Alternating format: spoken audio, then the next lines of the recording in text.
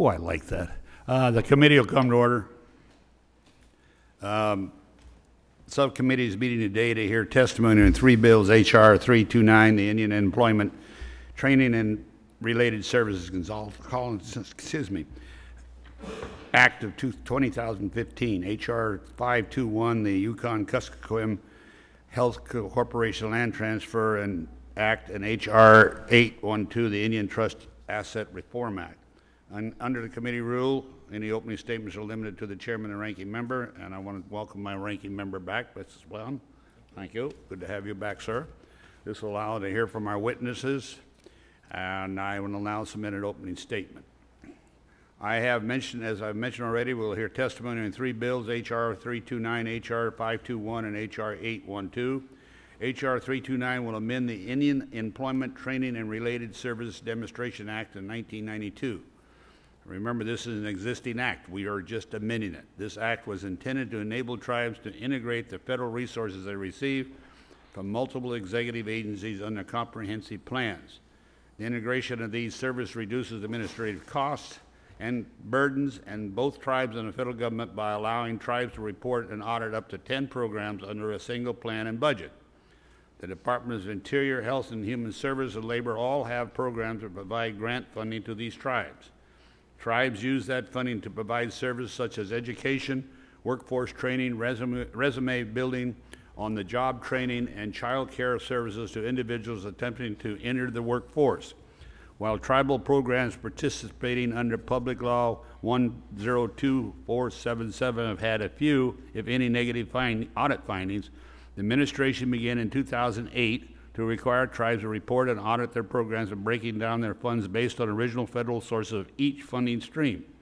Tribes consider this requirement contrary to the original intent of the law.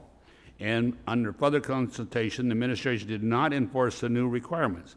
Since these consultations began in 2011, the administration and tribes have worked together to try to reconcile their differences in interpretation of Public Law 477. However, under three years of discussion, the agency and tribes have still not reached an agreement on how certain provisions of the law should be implemented. The bill would, would transition the 477 program from a demonstration program to a regular authorized program. It would also simplify and improve accounting procedures and reporting mechanism to uphold the original intent of the program, ensure that agency treat tribes fairly, and set a foundation for participants' continued success.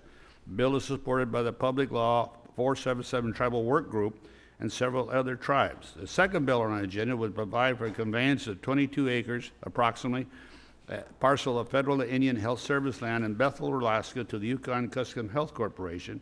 The YKHC extends and expands its current hospital and renovate existing areas through the IHS Joint Venture Construction Program.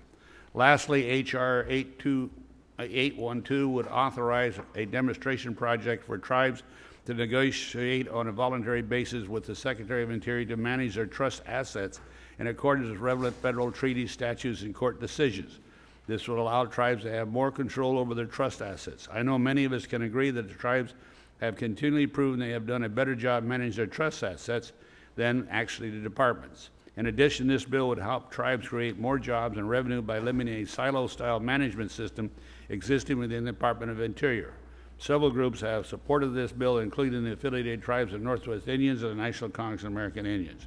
I will thank the witnesses, and this time I'll yield to the ranking member, Mr. Blum, for an opening statement. Well, thank you very much, Chairman Young. And I want to start by welcoming um, our witnesses, uh, especially um, the tribal leaders who have come from far and wide to be here. Um, my district is 15 time zones ahead of us, and so I know what it is like to travel this far, the cost and the time. And uh, today we have uh, before us three bills bills that will empower tribes and Alaska Native entities to take control of the economic health and physical well being of their people. Uh, H.R. 329, introduced by Chairman Young, would streamline and make permanent the 477 program. And this program allows federally recognized tribes and Alaska Native entities to combine formula funded federal grants programs, which are employment and training related, into a single plan with a single budget and single reporting system.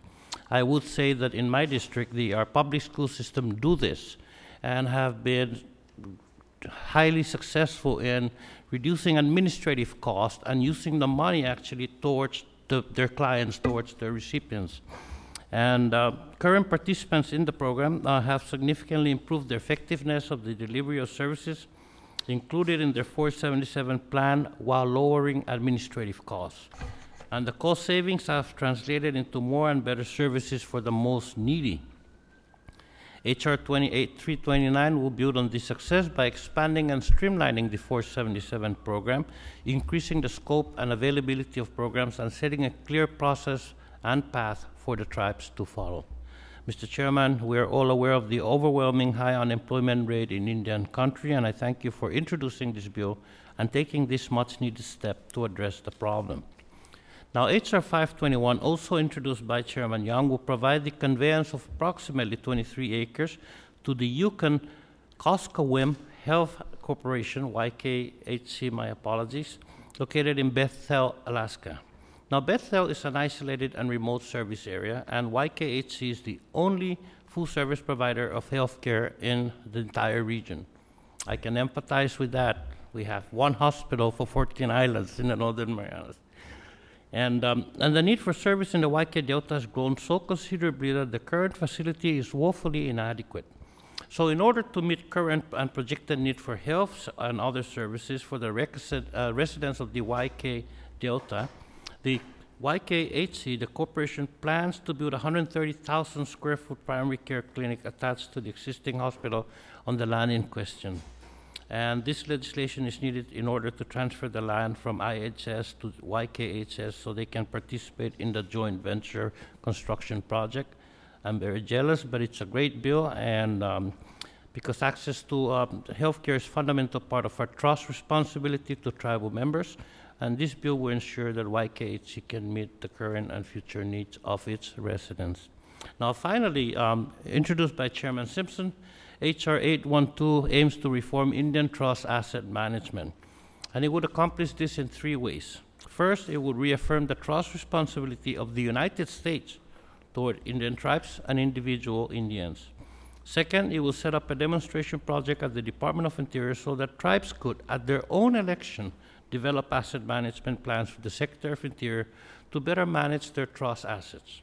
And finally, H.R. 812 will consolidate the functions of the Bureau of Indian Affairs and the Office of Special Trustee for American Indians into one office within the Department of the Interior, headed by a new Undersecretary of Indian Affairs.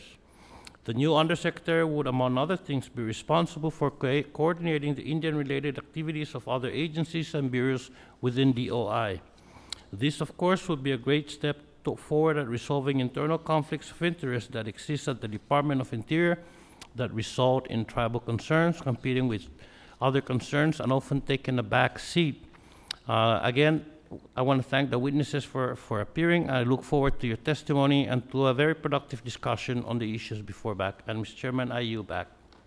I thank the gentleman. Uh, we have panel one, Mrs. Margaret Seatek, uh, co-chair, I mean, excuse me, co-chair of the, the PLL 10247 Tribal Work Group that worked on this legislation before from Shawnee, Oklahoma. Mr. Ken Selby, Community Service Director, Aleutian Pribilof Islands Association, Anchorage, Alaska.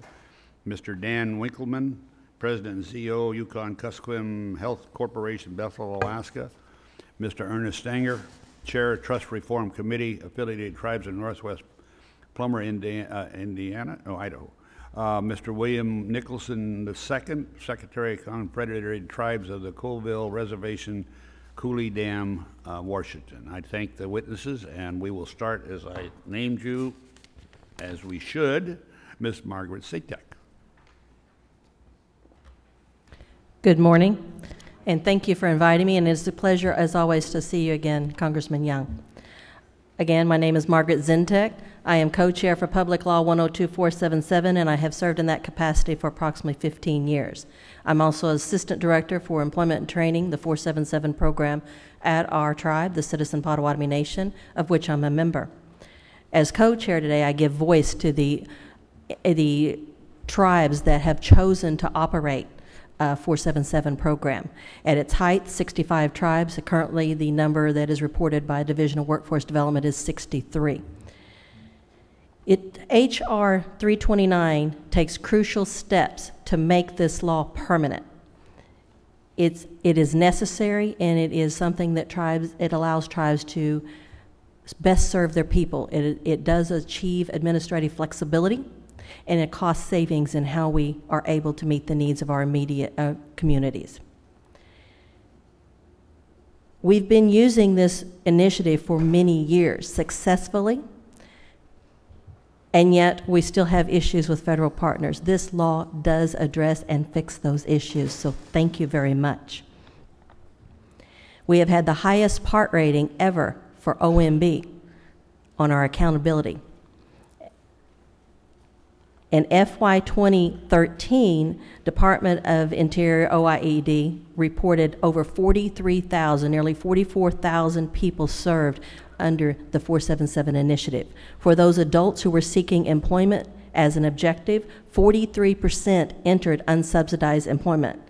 I'm going to repeat that 43% in parts of the country where we are experiencing as much as 80% unemployment. For the adults and youth who attempted to earn a degree or certificate, 58% reached their goal. Of the adults who, see, who received services through the 477 initiative, 78% were considered a cash assistance recipient, having received TANF or general assistance within six months of entering the program or while being served. The increase in the adult earnings was over $7.84 per hour. The increase in the cash assistant recipient earnings was over $11 an hour. People who had zero income, now tax-paying citizens. With unemployment rates, as I said, up anywhere from 20 to 80 percent, depending on what part of the country or what particular site you're measuring. At the Citizen Potawatomi Nation, in just the past four years, we've served over 6,000 participants through the 477. And of those, 47 achieved unsubsidized employment. It's just one example with the Citizen Potawatomi Nation. This you could repeat across the country. And approximately 50% of the 477 grantees are from Alaska. After multiple years of meeting with the Administrative Flexibility Work Group, a consensus was reached on a number of issues, mainly a lot of education of our federal partners. We did finally reach a consistency and an agreement, if you will. It is not that all tribes are backing this. Some tribes do feel that we gave more than we needed to. Um, but there still is work to be done that this law will address. Meetings were suspended in May of 2014 with issues still on the table, and the Administrative Flexibility Work Group has not scheduled a meeting since. H.R. 329 addresses and provides resolution to the majority of the remaining issues. It builds upon past successes. It lays a framework for expansion. It addresses it section by section. The clear intent of Congress to allow tribes true consolidation of programs no separate reporting by program source, no dollar for dollar accounting, and reaffirmation that these funds can be used directly to support economic development and job creation. Each section addresses issues that have arisen in the interpretation of current law. It does, in law, provide resol- uh, dispute resolution. Clear, section 14 clearly addresses authorized use of the funds, 100% of indirect cost rate, matching, and interest income. These provisions make it clear the intent of Congress. Again, thank you for hearing that, for listening to me today. I know that you have other testimony from our federal partners, and they have pointed a few things out that I would have to disagree with. I know my time is short, but just to hit a few, they mentioned the Navajo case. That is not pertinent. That is not what 477 seeks to do. Uh, it talks about the Administrative Flexibility Work Group and that we've agreed to a reduced uh, reporting mechanism, that again is not true. That actually adds a layer of reporting additional. It talks. They also will talk about uh, auditing, and I would have to again disagree that as tribes participating in 477 with the combination of funds reaching a higher dollar level, we actually have a much higher percentage of review of our programs through the audit process and also from the Division of Workforce officers, the AOTRs. We are actually visited on a much higher frequently and our plans reviewed. I cannot even tell you that non 477 have that same structure. 477 does. We're held to a higher level of audits. So I want to thank you. Uh, Thank you, Margaret, and may I suggest respectfully, if you're not doing anything, would you mind uh, hanging around a little bit, because we're going to hear testimony, and I may ask you to come back before the witness stand, you never know. I certainly shall. Thank you. Uh, Mr. Selby, this is the Aleutian Pribilof Islands Association, you're up next. Good morning. Morning. My name is Ken Selby, Community Services Director for the Aleutian Pribilof Island Association. The Aleutian Pribilof Island Association, Inc. is a native nonprofit uh, in Alaska organized to serve 13 federal recognized tribes in the Aleutian Pribilof region. To present testimony in support of uh, H.R. 329, this bill as amended, we greatly appreciate the committee's committee's uh, efforts in having Alaska and the entire United States in terms of increased capacity for tribes and tribal organizations to leverage federal funding for maximum efficiency and to create real jobs in Indian country. All of our tribal communities rely on some form of federal or state assistance in terms of job opportunities, improved economy, and educational advancements through employment training and educational services Uh, essential to assist our members in meeting their essential needs and to, fulf- to fulfill their potential to self-sufficiency through training, education, job placement, and economic opportunity. APIA provides job placement training, higher education, child care development funds, Native Employment Works, youth and adult workforce development services, and activities through our employment training and related services approved 102477 tribal plan, six of the 10 potential. How important is the Indian employment and training related services legislation to tribes in Alaska? All 229 federally recognized tribes in Alaska have access to the current Public Law 102477 legislation. Each of the 12 ANCSA uh, not-for-profit regional corporations and eight federally recognized tribes have approved plans. What are the benefits to participating tribes for proposed legislation that may be provided? H.R. 329 offers vital changes and additions that will enhance the quality of service to tribes in accessing economic opportunity, jobs, education, and sustainable income. The integration of additional programs through expanding participation by eight listed U.S. departments at the discretion of the Secretary is huge. Section 14 speaks to allow consolidated program funds to be reallocated and rebudgeted as specified in the approved plan, putting to rest any objection of use of such funds as designed in the tribe's plan, leading to further opportunity and flexibility in developing the services and delivering of those services. And finally, section 14, the indirect cost allows for a tribe to recover 100% of any indirect cost incurred by the tribe as a result of the transfer of funds to the tribe under the act. Some tribes have chosen not to integrate certain allowed programs into a tribal plan due to specific program statute or regulations capping the percentages and therefore shortening their recovery of actual costs, even though they had approved plans through their cognizant agent. The Aleutian Island Association and our 13 tribes are grateful for this committee's support for the Employment Training and Related Services Consolidation Act, and we urge immediate passage of the bill and stand ready to work with the committee to assist in any way that we may be of help. Thank you for this opportunity. Thank you, Ken. Uh, Mr. Dan Winkelman, who has probably one of the bigger responsibilities as far as health corporations go, a bigger community, you're welcome. You're up.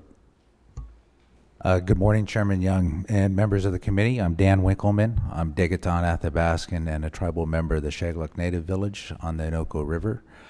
Um, I'm also President and CEO of the Yukon Kuskokwim Health Corporation.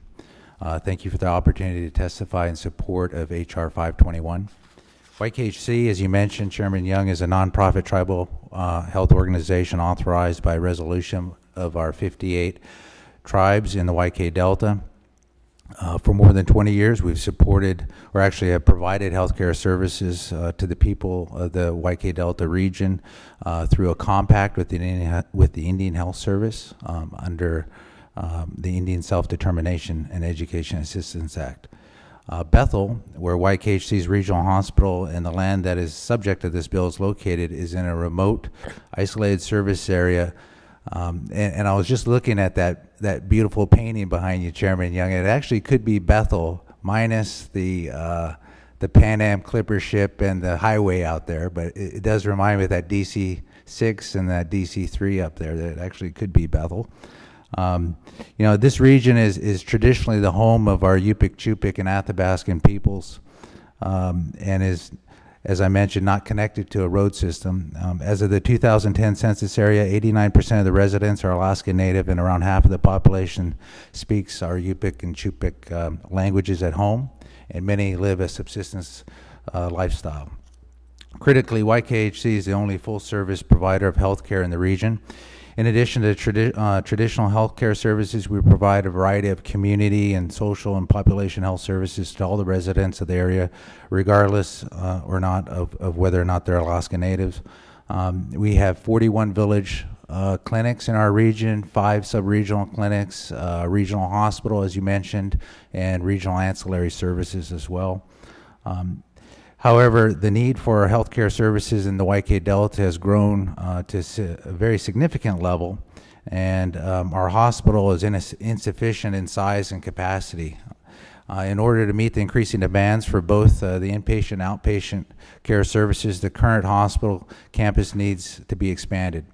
Therefore, YKHC, as you mentioned, is well into the process of planning uh, a $225 million project to finance and build a new 11,000 square meter primary care center that's adjacent and connected to our regional hospital, which is about 9,000 square meters.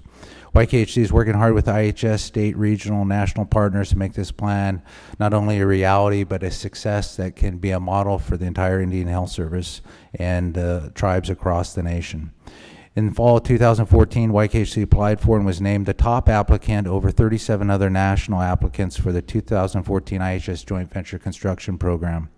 This program, which was set up by IHS under Section 818 of the Indian Healthcare Improvement Act, authorizes IHS to establish joint venture uh, projects under which tribes or tribal organizations would acquire, construct, or renovate a healthcare facility and lease it to the IHS at no cost for a period of 20 years.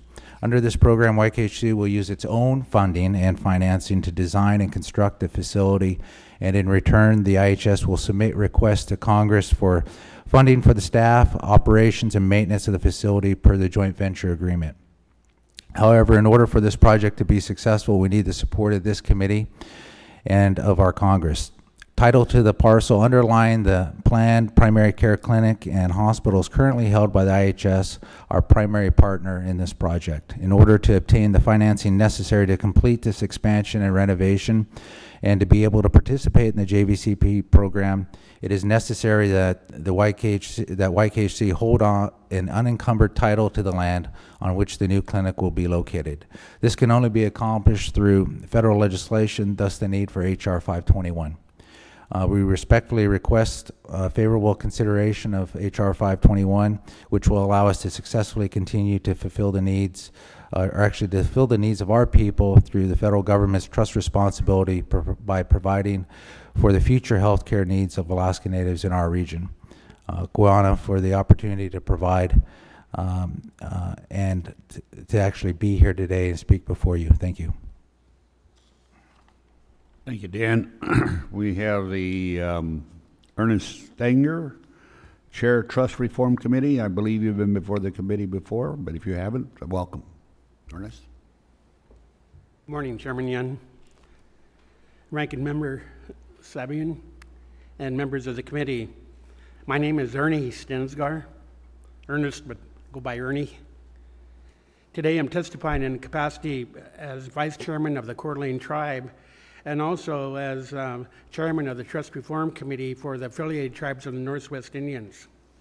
I testified before this committee um, last year on, um, on the bill had a, diff- had a different number th- then, But uh, since then, we've incorporated some uh, new provisions in, um, in this bill as um, 812. Um, It's a bipartisan bill, and it provides tribes and Indian beneficiaries opportunity to eliminate delays that they currently experience um, within the Department of Interior as we prepare appraisals on our trust property. We, I'm sorry? Okay? Yeah. These are common sense, practical changes that will make our lives easier when doing business in our tribal communities. More importantly, it recognizes that, that we as Indian tribes are better able to manage our own affairs rather than, uh, rather than interior. We, um, we have a, I'm going to address these in, in different orders. The trust asset demonstration pro- project would establish a, a project that tribes would buy into. It would authorize the tribes then on a voluntary basis to direct the management of their trust resources through a negotiated agreement with, with Interior. This, these agreements would allow tribes to operate under tribal sta- standards rather than federal standards. And uh, I think that goes a long way in uh, Indian self determination. The agreements would also allow tribes to conduct um, forest management activities on their, in their tribal forests without the need for BIA approval. This provision is, is almost identical to the Hearth Act. The Hearth Act, as you know, became law in 2012 and was passed by the House by 400 to 0. A large number of the tribes in, in the Pacific Northwest and across Indian country have timber resources. Extending the Hearth Act to forest management would provide the tribes with new opportunities in economic development. We proposed in um, the last bill to uh, restructure the office of the, of the special trust. If you remember, as uh, Congress uh, um, authorized the creation of OST, it was uh, for to be temporary, and tribes recognized that that temporary status and, and called for for the elimination of OST, or at least to bring it back under the folds of the of the BST or, or the BIA. Under, um, after uh, reviewing the issues and uh, concerns uh, that uh, Interior uh, submitted, uh, we decided that, that maybe would, it would better to, to look at a different plan. And that would have Interior submit a plan to Congress and to the tribes to educate us into what OST is doing and how they're doing it and how it affects Indian country. And, and maybe at a, at a, at a different time uh, how they were going to transition out of, um, out of OST and, and fix, that, fix that office. Um, so we're, we're not asking for the termination of OST other than them submitting a plan and, and uh, that we could um, that we could look at and um, and see how this was going to affect Indian country, and then uh, probably come back at a later time to see how that would be uh, implemented. The report would serve several purposes. It would, it would educate us in Indian country, provide Congress with information about duplicative land management functions that OST performs that the BIA might also perform. Finally, it would be the first opportunity for Congress in Indian country to see the Secretary's plan to transition OST. H.R. 812 also includes two new provisions that will provide tribes and Indian beneficiaries on a voluntary basis to hire their own qualified appraisers without the need for the appraisal to be approved by the department. Currently, the tribe wants an appraisal. We, we send a request into the Bureau of Indian Affairs. The Bureau of Indian Affairs then sends that request over to the Office of, of Special Trust. And I think, as we all know, working with the federal bureaucracy, you can see how much time that would that that, that, that takes. So if we have a buyer, or if we have a seller that um, that want that's ready to uh, for a transaction, we have to wait till the till we hear back from the from the feds, and periodically, almost all the time, that that, that gets held up somewhere on lines and tribes are, are waiting. Um, some deals aren't, aren't, aren't made because of that, or, um, it's a, it's a work in progress that needs to be fixed. And the only way we, we deem that we can fix it is with the passage of, uh, of 812. Um, appraisals are, are very important to the tribes, and uh, we think that we can uh, do a do a better job uh, without the federal government looking over our shoulder. We think that would be fair to us as tribes and help us on in economic uh, development. Ernie, I hate to say it, you're out of time, but uh, I, I appreciate what you've been saying because that's one of my biggest problems. Um, this uh, Self-Determination Act has been maligned, and they're trying to stop you from doing your job. So I may have other questions for you later on. Thank you. Thank you for allowing me to be here before the You committee. Uh, Mr. Nicholson, Secretary of Confederate Tribes of the Colville Reservation, Washington. Good morning, Chairman Young, Ranking Member Sablan, and members of the committee. My name is William Nicholson, and I am the Secretary of the Colville Business Council, the governing body of the Colville Confederated Tribes of the Colville Reservation. I also, I also serve as the tribe's delegate to the Intertribal Timber Council. My testimony today will focus on how the Indian Trust Asset Reform Act will greatly assist the Colville tribes in opening up one of our sawmills. Reopening the sawmills will restore jobs we lost with the housing downturn and also create new jobs as we continue to develop going forward.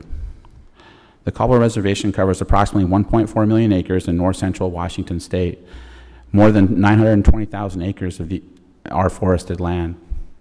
Until the economic downturn and the housing market crash of a few years ago, the tribe operated two mills in Omak, Washington. One was a traditional sawmill, Colville Indian Precision Pine, and the other is a dimensional lumber and veneer plant.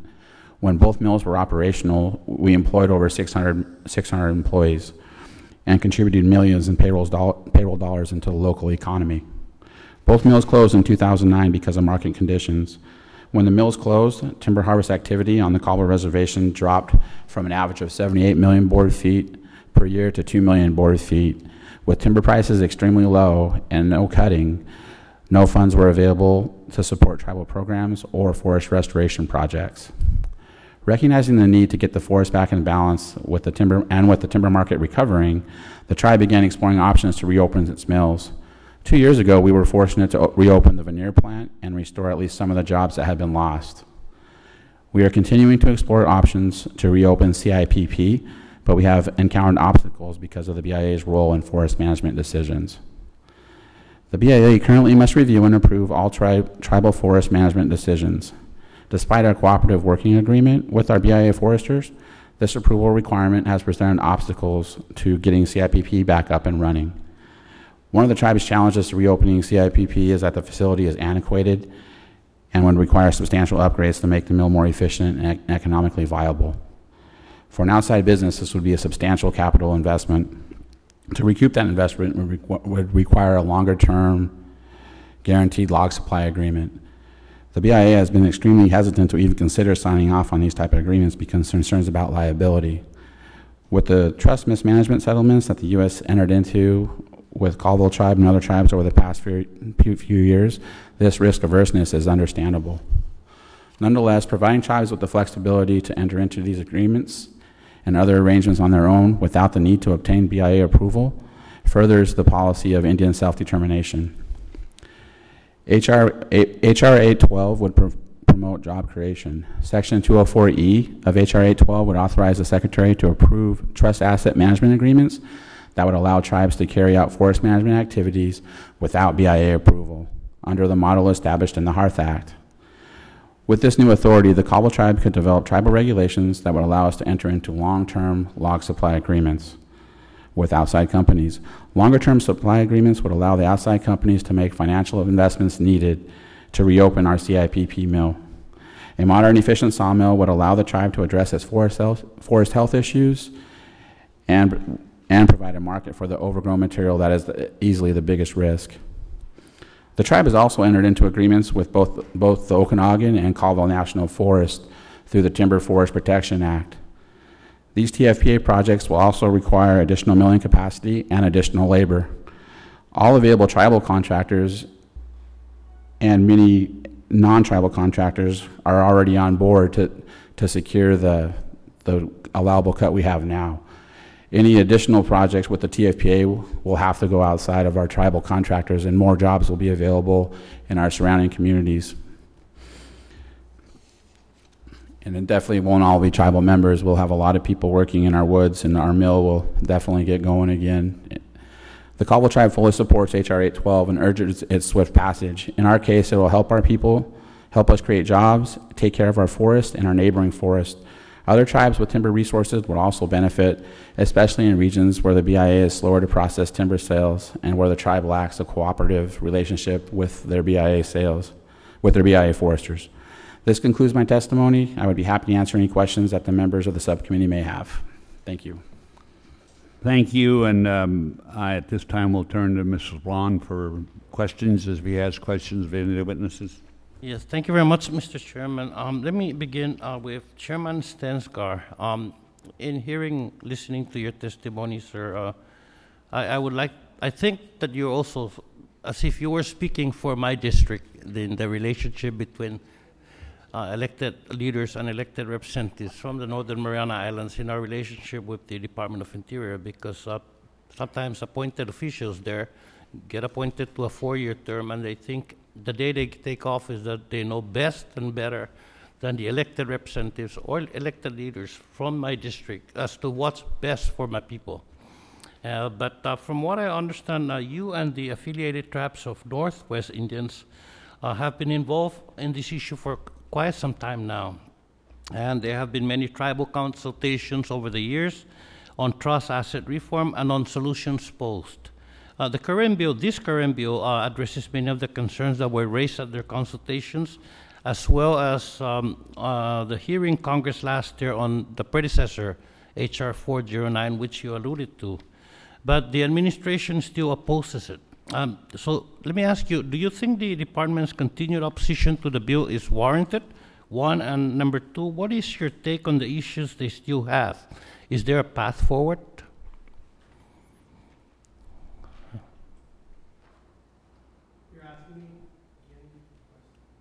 Yeah, just, do you think the department's opposition to the bill is warranted? Be honest, sir. I, We all, re- we vetted this bill over the last 10 years. We've, we've been before Interior, we've, we've talked to them, we've talked to this, this, this committee. Um, no, I don't think it's warranted. I think there's some self-preservation you know, involved in here on, on behalf of some of the, the people on the Interior side. a- and so, um, do you think, is there a path forward uh, in, in, in resolving these issues that you're having with the Department of Interior?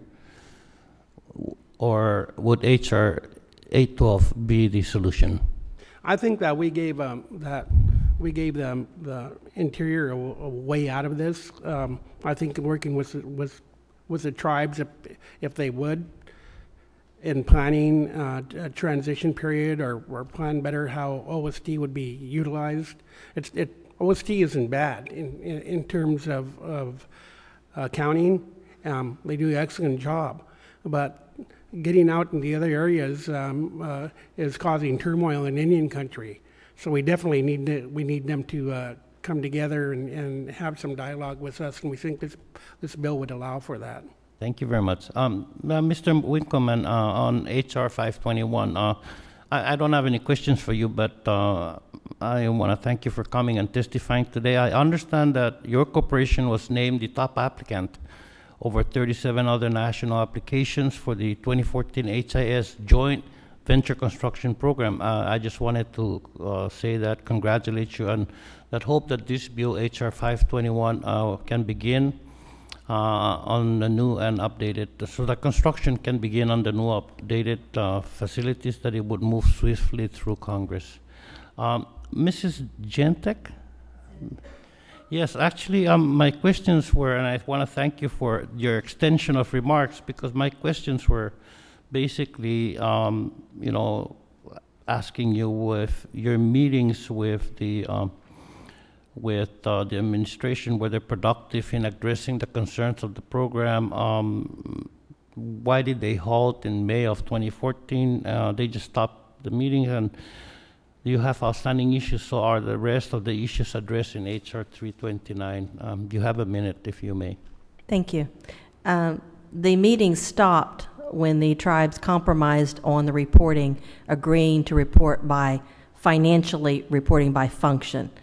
The more, majority of the time was actually addressing and educating the federal partners as to what the intent and the allowability of 477.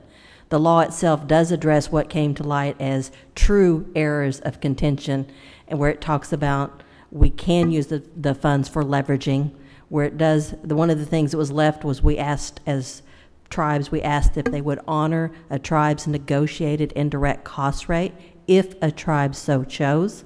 Um, Right now, we are in certain programs are limited to an administrative cap that is arbitrary and has no basis, where our IDC rate has to be negotiated and agreed on every year. So it actually has a basis of where it is. I think there's a fear on the federal partners when they hear percentages that are sound very high, but their fear is unfounded. They really need to look and see what those percentages are addressing.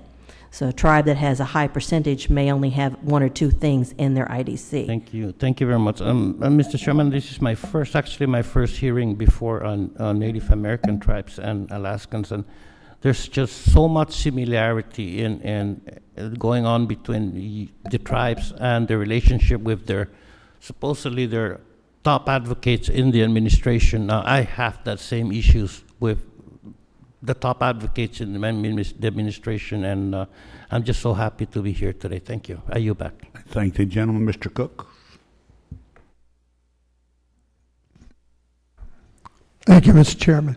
Uh, I want to thank the panel. Obviously, uh, a lot of you guys came a long ways. Uh, This has been um, very informative for me. Um, Some of the struggles that you're having, the bureaucracy, uh, it's one community to the other. I have to compliment you, by the way. Um, I have a thing about acronyms, and uh, you you were kind of pretty good about explaining the acronyms. Uh, You know, I'm I'm just a dumb marine, so they give me five pages of uh, acronyms, and I always thought the um, the easiest way to get your bill passed is that. If you know every acronym that you, you mention, uh, automatically you get a pass, but that's, uh, uh, to me, um, the, this is, uh, I have quite a few tribes in my area, and some of the same things. Obviously, we're not talking about some of the tribes, but some of the issues of uh, how you get things done. So I appreciate the time you have, and looking forward to hearing the second panel. Thank you. Thank you, Mr. Cook. LaMalfa, sir, late as you are, welcome. That- Well, thank you, Mr. Chairman, for pointing that out. I'll uh, a- talk to the schedulers about Ag Committee and Natural Resources Committee working together, and You're we'll... uh, forgiven. Well, well, thank you. I'm, I'm, I feel better already, especially from you, sir.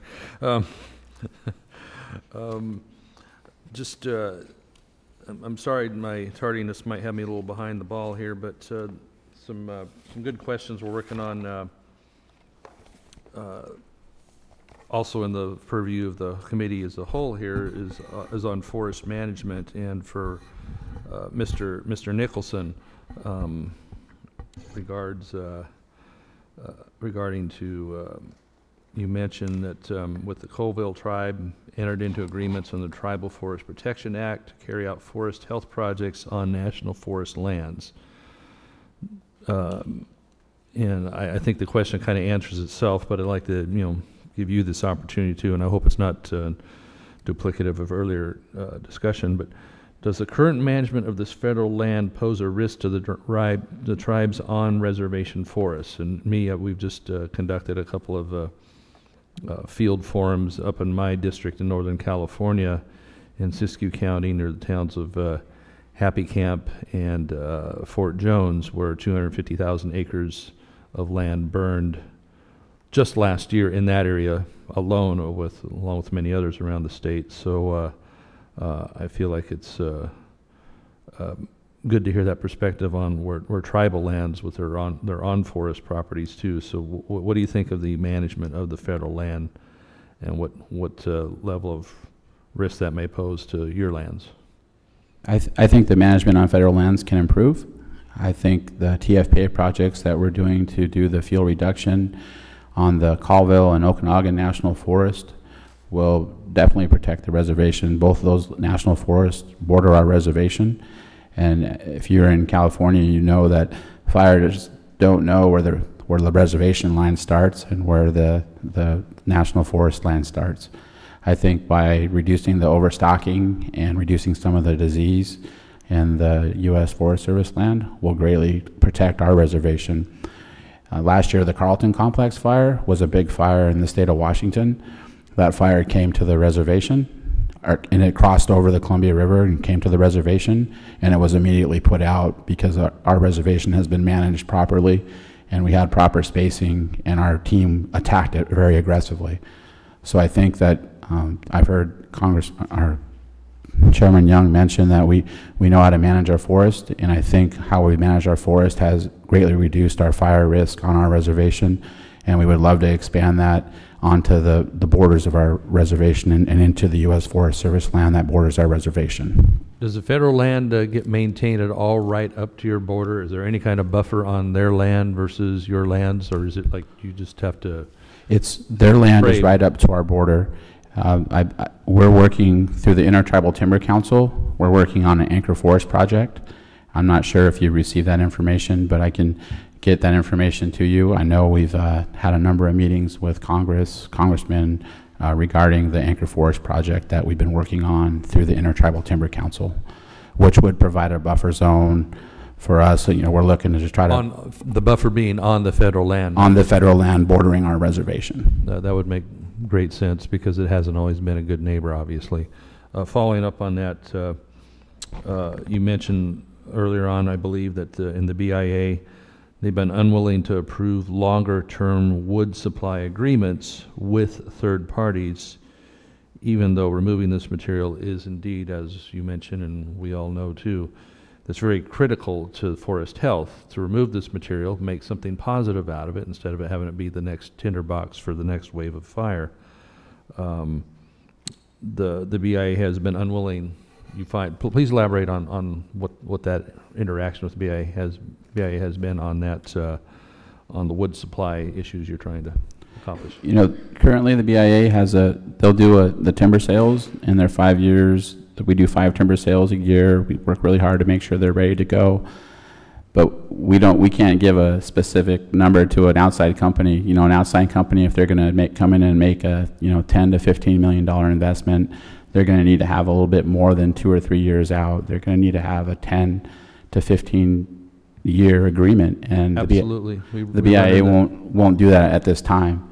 Although that's something that we've been asking for, it's something that we need to revitalize our, our second mill. Uh, once, you know, I think you can, the jobs speak for themselves. You know, 600 jobs were lost when the housing downturn came. Uh, we were having, a- we're slowly recovering from, from that loss and we're diversifying away from, we're diversifying to in- make sure we can handle that next time, but it'd be nice to stabilize our timber economy. Well, uh, certainly, uh, tribal folks know as well as anybody, this is a very long-term thing, and in terms of a, of a mill, they need to have at least, it would be ideal at least to have at least a thirty-year stability of supply and and for that large investment, but it should be an ongoing thing anyway with inventories we have all over the West that are way behind on being managed. So, so thank you for your testimony and for your whole panel for appearing today. I think the gentleman, I- uh, just along Ms. Nichols, I, I would suggest one thing. I may introduce a bill with the help of this committee that um, federal forest lands adjacent to tribal lands could be managed by the tribes. Because I am not happy with the Forest Service. They do not manage timber. They are park rangers. And they let that undergrowth grow and they wonder why, oh, God's created a fire. Look at it go. That's natural. Um, it's a disgrace.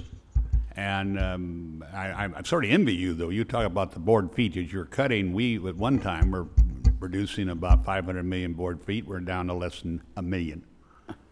And, and a forest is great because the Forest Service wants to keep it with the interest groups, not for timber, but to look at, which is fine, but they're dying. And it just frustrates the bejesus out of me, you want to know that. Um, I would suggest when they, uh, the Aleutian chain um, what is your yearly cost in time and money, Mr. Selby, um, to, that participates in the 477 program, currently Save the Aleutian Change, uh, Chain organization, 13 tribes there? How much money does it save, do you think?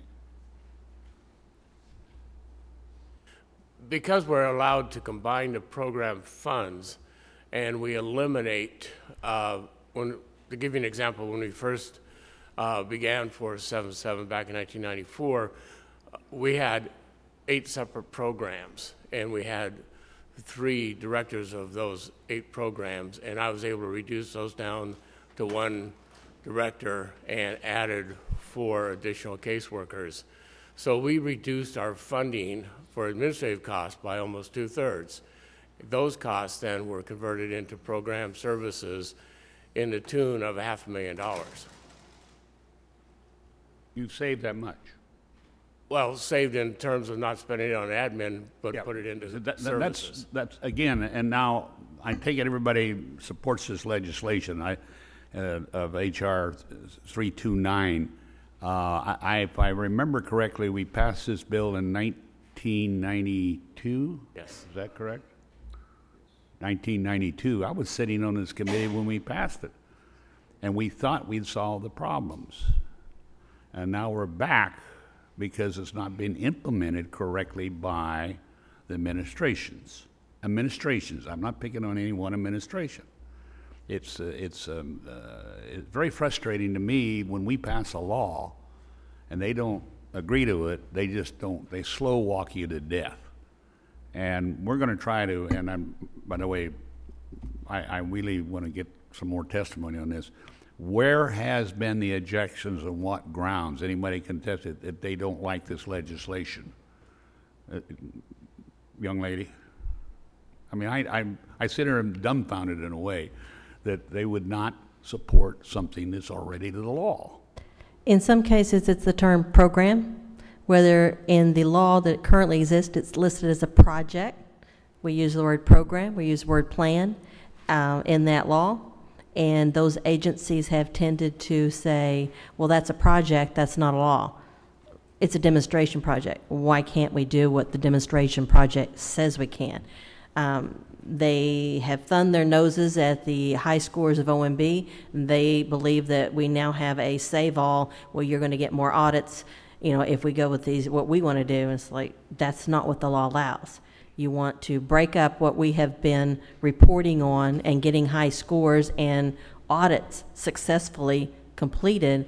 And now it actually started with HHS, wanted a dollar for dollar, specifically wanted to know that every child care dollar went into the 477 plan, resulted in a 477. We had to really educate them on if you're taking administration of a program, and as Ken just gave you the example, you took a director for each of these programs, and now you have direct staff, or in some cases like ours, it resulted in direct services increase to the people because we don't have multiple directors of the program. And under your system, the recipients receive more benefit under the administration system. That's- Absolutely. That's what it's all about. One report, one annual report, one statistical. We're held to an audit standard, and we get more services to our participants. Um, Mr. Winkelman, in your expansion, that is land, uh, uh, does the, we're going to hear from the testimony, is that land exchange being supported by uh, HHS? Yes, yes, it is.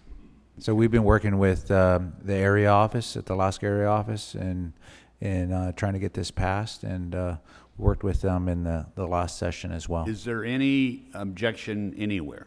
Not that I know of. That's good. Not that you know of. That sounds like a lawyer talking now. I mean, Yeah, well, there's that's no my background, sir. I am a- a No lawyer. objection. That sounds better. All right, good. Um, Let me see who else I got up here. Anybody else have any question? Uh, which- one? Um, Ernest, um, HR 812 contains new provision relating to appraisals and valuations. What kind of problems have the tribes had? I think you addressed this in your testimony with appraisals. Let's turn that on. I'm sorry. I mentioned that to get a, a, a appraisal, we make a request to the Bureau of Indian Affairs, then the Bureau of Indian Affairs makes that request to the Office of Special Trust. And um, that's a huge problem in, in that fact, with working with two bureaucracies that, that don't know each other, they don't have authority over each other, um, and responding to each other in their own good time uh, creates um, a time frame there that isn't conducive to good business. Well, would, would the um, HR 8112 solve that problem? We deem that it, that it would.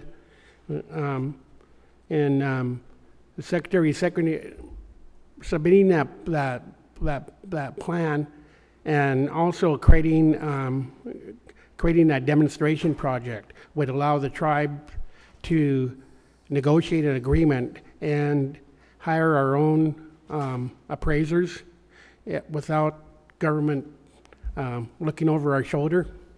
We could um, apply that with tribal standards. Ernie, I, I am agree, but I don't like demonstration projects. Remember, I said in 1992 we passed this legislation. We're back here trying to improve upon it.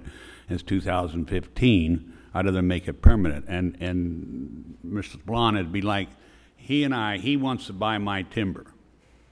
I am a tribe, and I apply to the BIA. You're the BIA now, and he in turn sends it to the Office of Trust over here and he only has so much time with the money available to buy my timber.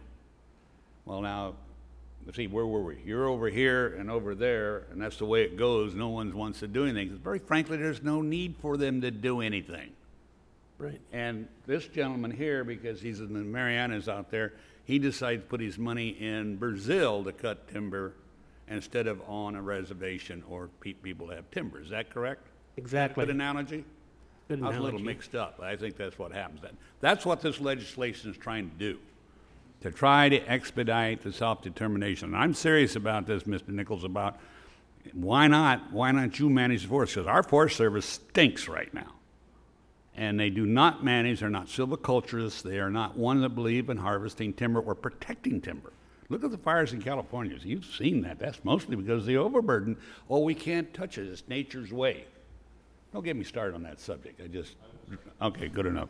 Any other questions you'd like to ask this panel? I, I would, sir. Thank you, Mr. Chairman. I appreciate your perspective as well. Um, California faces uh, the fourth year of huge historic drought.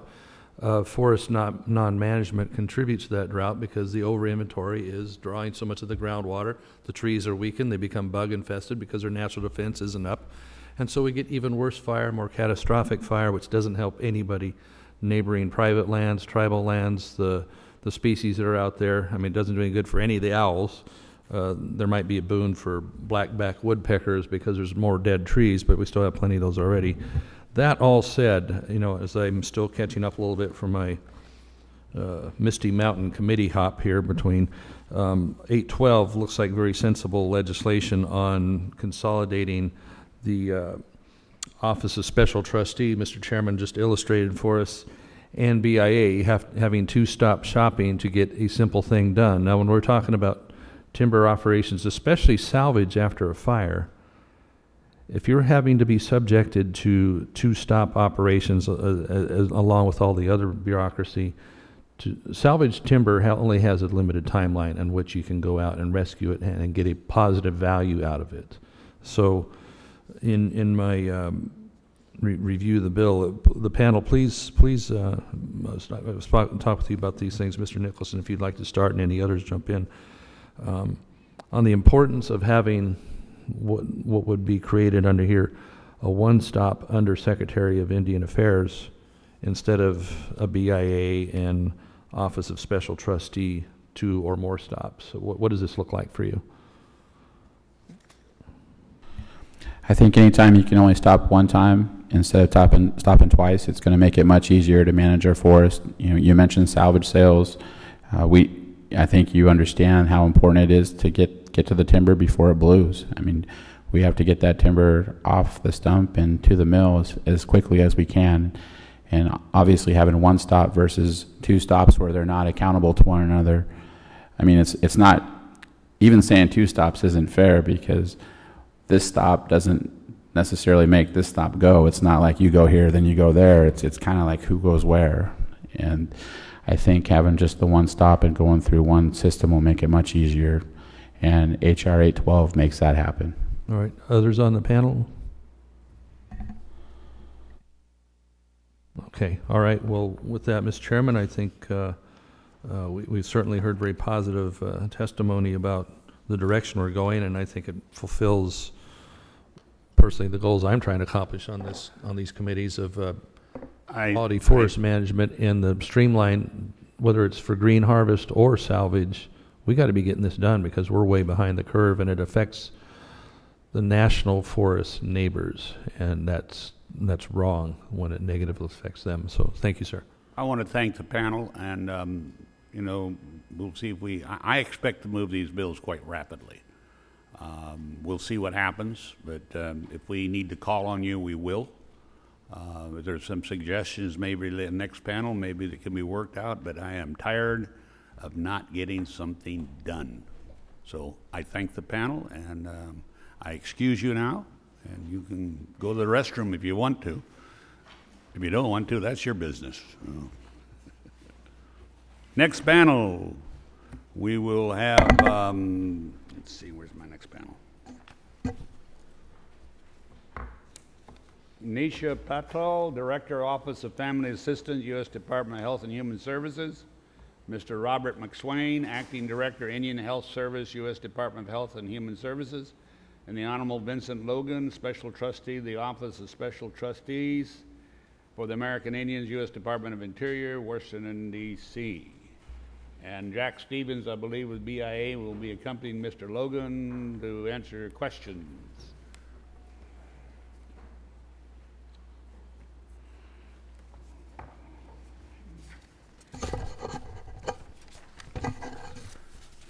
All right, let's see what we got here.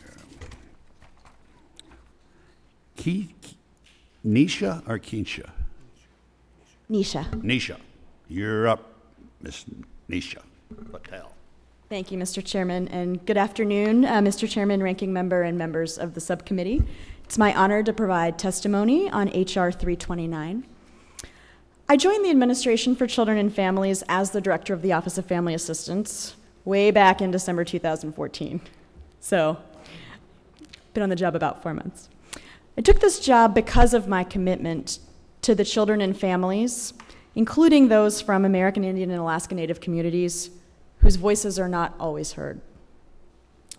Our office administers federal grant programs that foster family economic security, including Temporary Assistance for Needy Families, or TANF, Tribal TANF, and Native Employment Works, or NEW. I know there's a long history with 477, and I've not been a part of most of it, but I've been trying to learn very quickly. During my first months on the job, I've made it a top priority to participate in tr- several tribal consultations and to hear directly from tribal leaders. For example, last month I had the opportunity to meet with tribal leaders and representatives at an HHS tribal consultation in Seattle with a number of Alaska Native uh, tribal leaders, and I heard two themes loud and clear. Tribes are interested in one, increased flexibility, and two, increased resources. HHS stands ready to partner with the tribes and with this subcommittee on both of these issues. Our understanding of what may be the intent behind the proposed legislation, the ability to serve families and communities in more flexible and holistic ways, is very much aligned with the top two priorities I've put forward for the Office of Family Assistance. First, to increase family economic security by supporting our tribal, state, and community grantee partners to design and implement programs that focus simultaneously on parental employment and child and family well being. And second, to promote collaboration among human services agencies, workforce agencies, and educational institutions to encourage service delivery that addresses outcomes for both parents and their children. HHS is committed to the success of 477 projects. HHS voluntarily participates in the 477 projects with three grant programs TANF, the Child Care and Development Fund, or CCDF, and NEW. The majority of funding in 477 projects comes from TANF and CCDF grant funds. 477 projects present important issues about how best to, to balance flexibility with accountability. In November 2011, tribal representatives of 477 projects, some of whom we heard from this morning, and federal representatives formed an administrative flexibility work group to address issues concerning 477. The Office of Family Assistance has been a very active partner in this work group, and its accomplishments include identifying flexibilities within the law that allow tribes to use a portion of their 477 funds for economic development, fostering stronger working relationships between the tribes and federal agencies, and developing a financial reporting form, which was referenced earlier, that moves away from dollar to dollar reporting and reporting based on functional categories, including childcare, education, and employment and training services. At the same time, the work group process, as has, as has been acknowledged, did not resolve all outstanding issues. HHS is supportive of increased flexibility for tribes, which we understand may be the intent of HR 329 as well. However, I would like to highlight just three issues that we think merit further consideration and discussion, and we would look forward to working with the subcommittee on these issues. First, H.R. 329 would give the Secretary of the Interior sole authority to approve plans that include any program from across 12 listed federal agencies without the consent of the agencies charged with administering those programs. Second, the bill would allow for the Indian Self Determination and Education Assistance Act, or ISDA, to apply to funds in 477 projects. However, ISDA does not apply to the types of HHS grant funds that are included in 477 projects. The HHS programs in 477 projects are grants to tribes that provide a great deal of flexibility, which tribes then use to develop their own programs. Unlike the programs to which ISDA currently applies, HHS does not provide TANF, CCDF, or new services directly. We don't prescribe a set of services that tribes must provide, and we do not offer contracts for a prescribed set of services. Third and finally, the bill contains language that would prohibit agencies from obtaining reports or audits on how underlying program funds or an individual agency's funds are spent. This could significantly limit HHS's ability to be responsible stewards of public funds. It could prevent understanding of the types of services being offered, the service gaps that remain, and whether individual program funds have a positive impact in Indian country. In conclusion, I very much appreciate the subcommittee's interest in these issues and the opportunity to speak with you today. HHS looks forward to working with the subcommittee and with our partner agencies to improve services to American Indian and Alaska Native children, families, and communities. And I would be happy to address any questions. Thank you. Thank you. And I will now have Robert McSwain, Indian Health Service, Department of Health and Human Services, Rockville, Maryland. Chairman Young and members of the committee, uh, good morning. I am Robert McSwain, the acting director of the Indian Health Service. I'm pleased to have the opportunity to testify on H.R. 521, a bill to provide for the conveyance of certain property from the federal government to the Yukon Kuskokwim Health Corporation located in Bethel, Alaska. As you, as you all know, and as Mr. Winkelman has mentioned earlier, that uh, YKC assumed responsibility for the provision of IHS funded health services in 1992 uh, under the authority of the Indian Self Determination Education Assistance Act. The federal property described in 521 is used in connection with health related programs in Bethel, Alaska on YKHC, by, uh, located by, uh, operated by. On September 18th, uh, 2014, the YKHC requested transfer of approximately 23 acres of the federal property in Bethel, Alaska. On December 20th, 2014, uh, the IHS informed YKHC of its intent to fulfill their request by transferring property via quitclaim, an important uh, feature because the only authority Indian Health Service has, aside from legislation, is the quitclaim deed authority under, under ISDA. The IHS, in collaboration with YKHC, is currently preparing documentation necessary to transfer the property via quitclaim deed. H.R. 521 would provide conveyance of the Bethel property from the United States to YKHC by use of a warranty deed. Uh, the documentation currently being prepared related to environmental conditions of the property would also support transfer via warranty deed. So the questions about uh, environmental issues uh, will be addressed. IHS supports the transfer as, as furthering the government to government relationship that exists between American Indian and Alaska Native tribal governments. It is important to emphasize that as a normal practice, the IHS does not transfer properties via the warranty deed mechanism, and this particular legislation enables us to do that. The IHS anticipates no conflicts related to work currently underway to transfer the property via quitclaim. If it is eventually determined that the property will be transferred via warranty deed, the warranty deed transfer would be the fifth of its kind in Alaska. IHS recently issued warranty deeds, as you recall, by, authorized by Congress to transfer parcels of land to the Maniilaq Association, an Alaska Native Tribal Health Consortium previously transferred through a quitclaim deed. I, I just want to comment that the quitclaim deed actually expedites the process. We're doing all the preparatory st- uh, spade work, if you will, and then when we get the authority to transfer by warranty deed, it doesn't take uh, nearly as long. Relative to uh, the reversionary uh, issue that you've heard come up again, issues we think retrocession is very, very unlikely. Uh, we can only count four retrocessions since the enactment of ISDA in, in 1975, and our careers, uh, ISDA and my, my career, are, are patterned after each other. Three were only small programs which have been reassumed by the tribes. None of these retrocessions uh, was in Alaska, the Alaska area. We look forward to working with you, Mr. Chairman, on measures to improve the health of the Alaska Native population. Uh, Mr. Chairman, this concludes my testimony, a summary of my testimony. I appreciate the opportunity to appear uh, before you to discuss H.R. 521 and we'd be happy to ask any, answer any questions you might have. Thank you, Robert, for that testimony, and I'm pleased that you are in favor. That helps out. Uh, Mr. Vincent Logan, Special Trustee, the Office of Special Trustees for American Indians, U.S. Department of Interior, Washington, D.C. You're up. Good afternoon, Chairman Young and members of the subcommittee. My name is Vincent Logan, and I, and I am Special Trustee for American Indians. I am pleased to be before the subcommittee today to testify on H.R. 812, the Indian Trust Asset Reform Act. Uh, my, my written testimony has been submitted for the record. Prior to commenting on H.R. 812, I want to briefly address H.R. 329, the Indian Employment Training and Related Services Consolidation Act.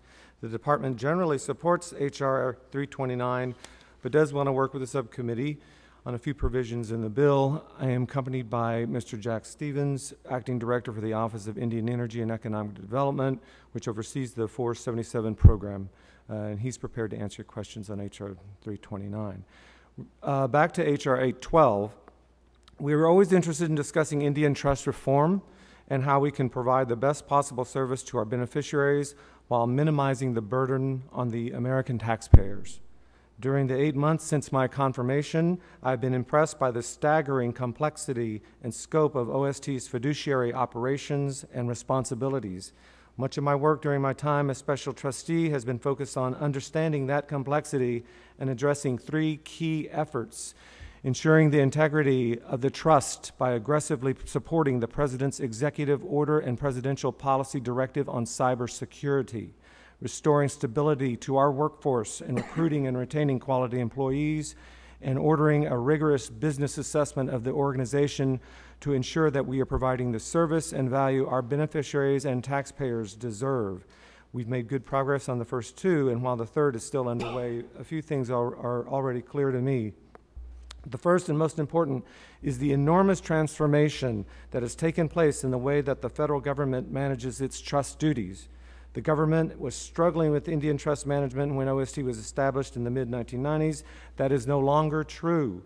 Today, the Office of the Special Trustee holds approximately $5 billion under management, administering 3,300 trust accounts for more than 250 Indian tribes and almost 400,000 open individual Indian money accounts. This work is performed by a group of highly competent and credentialed professionals. More than 80% of them are American Indian or Alaskan natives. Many, including myself, have IIM account, are IIM account holders. Their work and achievements are impressive. They operate a state of the art trust beneficiary call center that has achieved a first line resolution rate of 95% compared to 49% for the private sector. OST employees complete 40,000 comprehensive cash reconcili- reconciliations with Treasury each day, more than 10 million a year, and distribute over 1.9 billion dollars each year to our individual and tribal account holders. OST has accomplished this on a steadily declining budget, now just over $140 million, or about 5% of the total BIA budget. Yes, we have come a long way since 1994. OST received the highest possible rating during the recent audit of the IIM accounts, greatly enhancing the confidence of our beneficiaries. Uh, in examining the provisions of H.R. 12 and considering its potential to alter an Indian trust syst- management system that is now fully successful, I have asked five questions. Number one, uh, we'll make that three questions. I'll make it short. Does the proposal enable us to honor our trust obligations and have the tribes been duly consulted? Number two, does it reinforce uh, or build on the fiduciary standards necessary for us to avoid the practices that led to the Cobell case or, and similar litigation? And is this bill consistent with the American Indian Trust Management Reform Act of 1994? One note, and many of you know this, while contemplating a possible sunsetting of OST upon completion of its trust reform duties, the Act gave equal consideration to transforming the office into a permanent trust organization. And finally, number three, as a former investment professional and corporate lawyer, I have to ask Does the proposal make business sense? Can I say with confidence that the proposal will improve service, save money, and instill greater confidence in the process? Now, I believe that Congress demonstrated great insight and judgment when it decided to separate the fiduciary functions from the programs of the Bureau of Indian Affairs. The brilliance of that decision has been demonstrated in the immense progress that has been achieved since 1994. We are not confident that this bill, as written, fully addresses all the questions and concerns that are crucial when considering Indian trust reform. Consequently, the department cannot support it. Once again, thank you for the opportunity to testify before this subcommittee, and I, I will be happy to answer any questions you may have. Right, thank you, sir. Mr. LaMalfa, will you mind taking the chair for a moment? And then recognize Mr. Sablan for questions. If he gets off that iPhone, I'm going to break arms and take names here. Oh, Darn it. Well, thank you very much, uh, Mr. Chairman. Um, yes, sir. Um,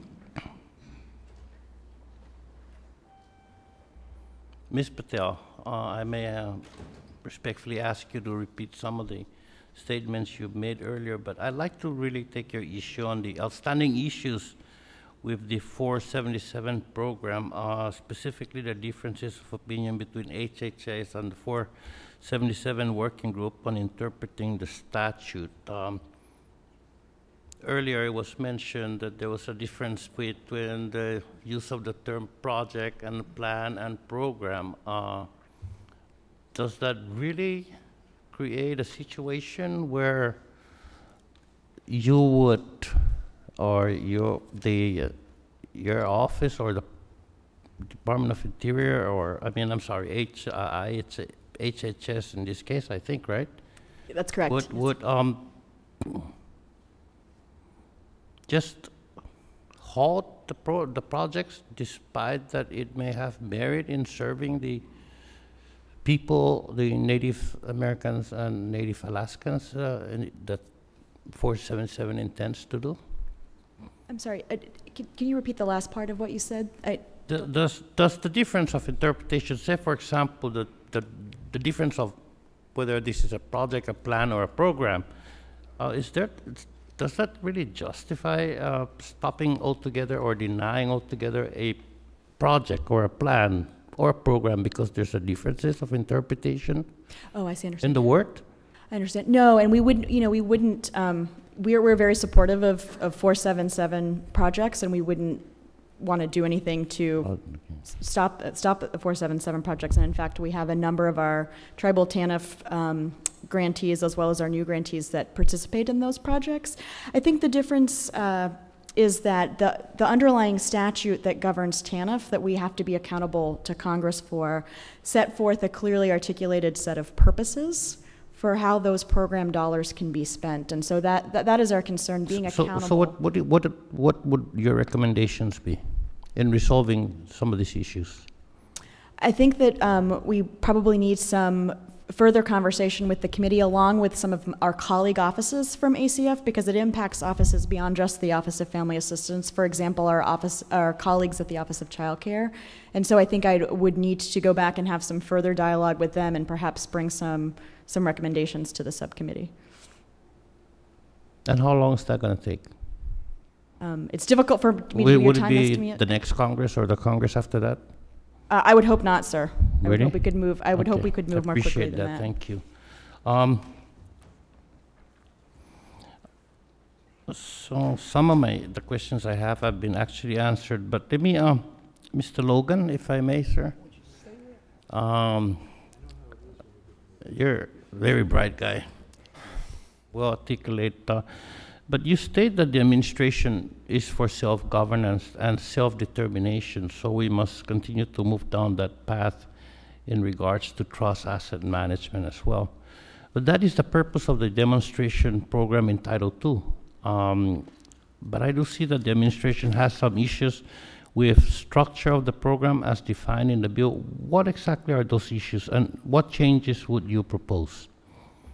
Uh, Thank you for that question, Congressman, um, and thank you for the compliment. Um, The does, the department does sel- uh, support self-governance, and as a general matter, we favor initiatives like the Hearth Act uh, that provides greater flexibility for tribes to manage their own trust uh, resources. Uh, Our primary concern uh, centers on the issue of federal liability.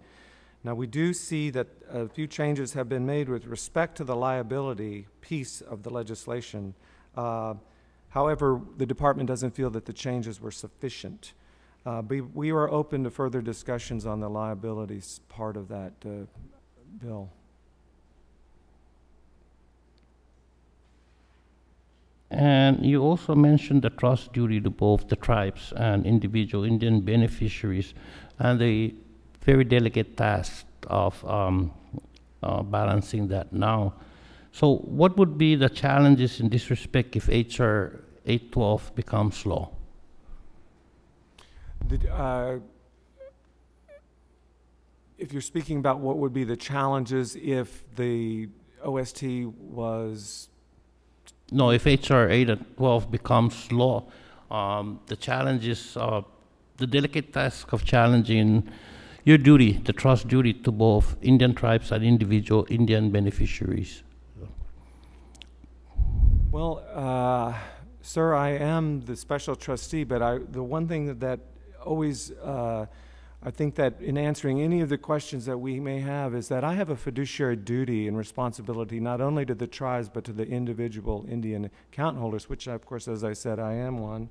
Um, as part of that, one of the one of the main issues is that we have this responsibility and that we have an inherent federal responsibility to that as well. If you think of it this way, and, and this is how I approach this, since I've only been here for eight months, but I look at the OST as an accounting firm. Uh, we are a trust company, and yet we have an investment management piece to us. So it, it's the complexities that are there, and as I said earlier, I'm not sure that was really contemplated in 1994.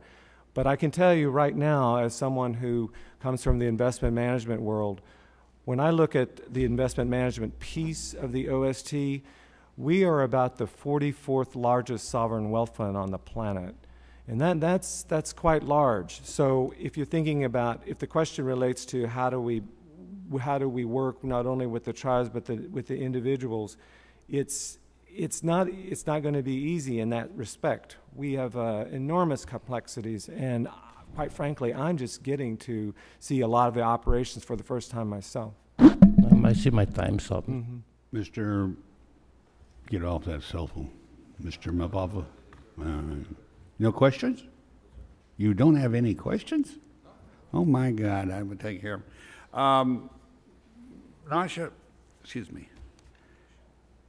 In your testimony, you outline how HHS interpretation on how the 477 program would work differs from the tribe's perspective. Let me be clear about the original law, and I said I was here when it was passed, and you're just on for a few months.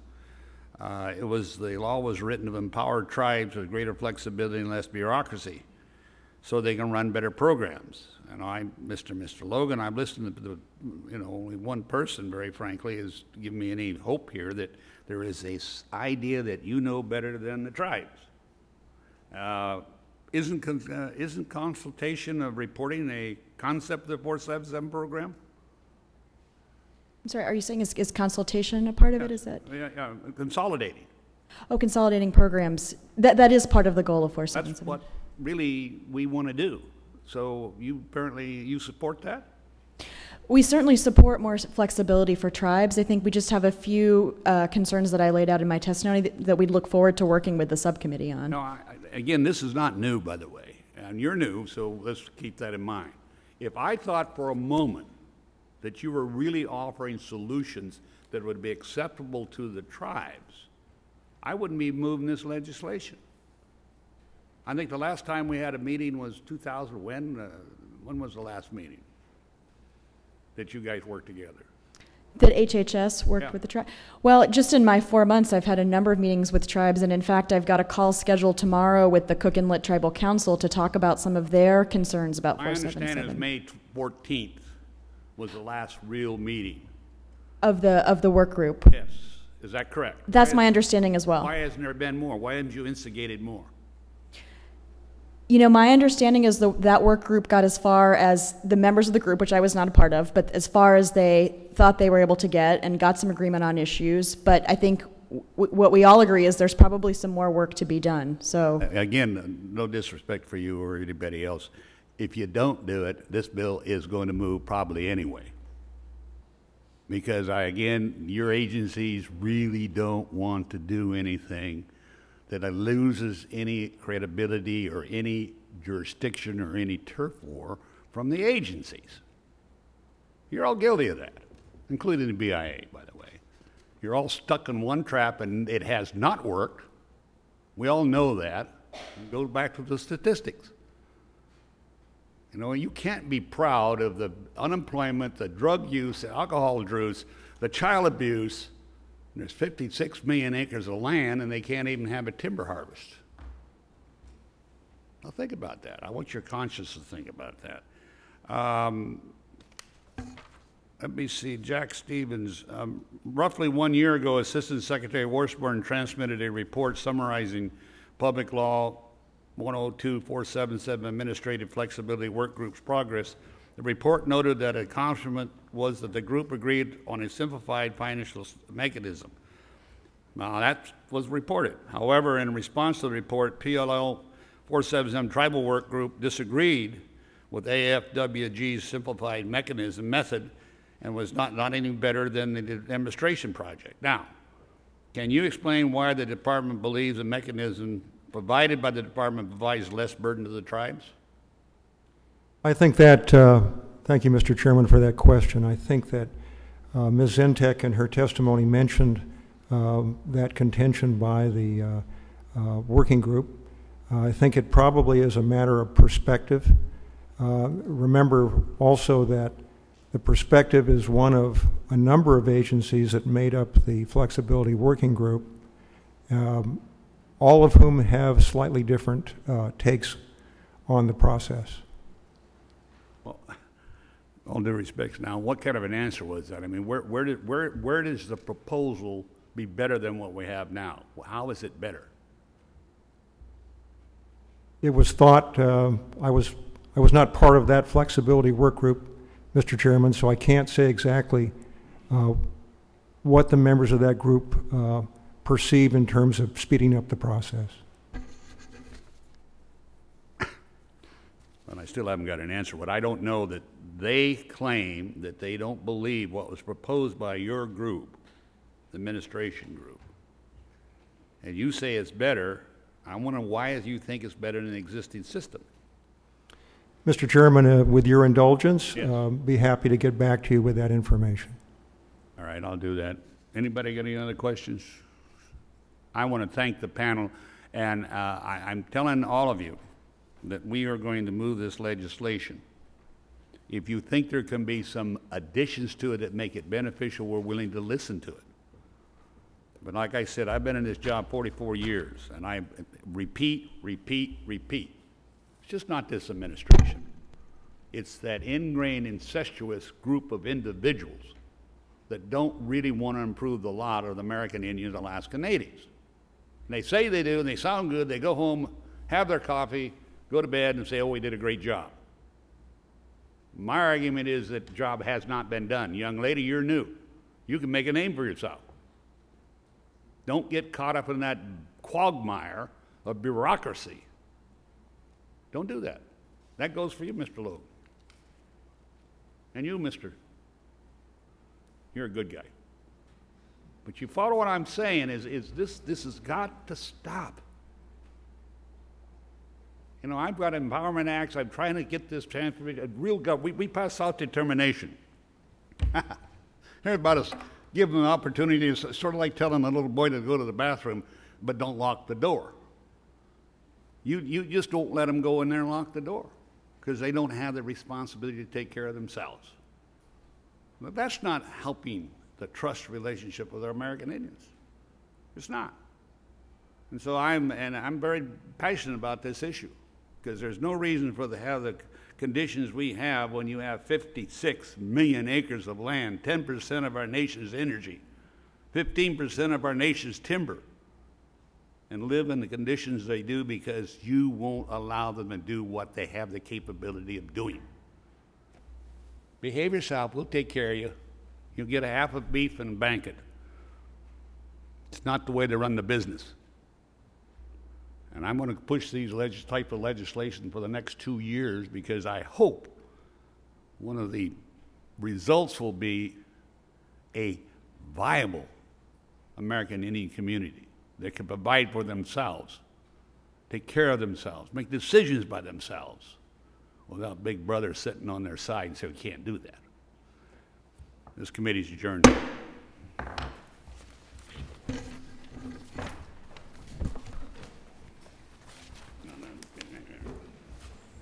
Okay. Some fire, I like it. Well, shit, but, but, you know, this is- I- like I say, I passed this fucking bill in 1992. Yeah. I was supposed to give them help. You hear me? That was awesome. That was my first chairman right there. Mrs. Sullivan.